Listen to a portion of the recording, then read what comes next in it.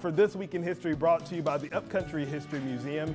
On May 30th, acclaimed jazz pianist and band leader Duke Ellington died at 50 years old this month, ending an incredible career that earned him a Grammy Lifetime Achievement Award, amongst some, some other things, and uh, a star on the Hollywood Walk of Fame and the Presidential Medal so the prompter can move up a little bit. Let's see.